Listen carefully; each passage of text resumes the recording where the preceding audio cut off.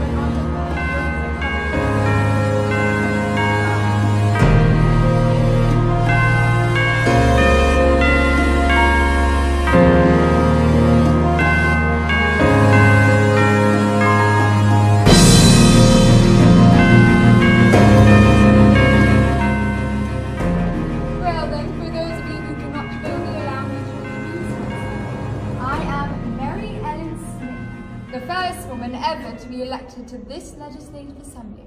In 1921, I was the first and only female cabinet minister in the entire British Empire. And in 1920, served as acting Speaker of the House.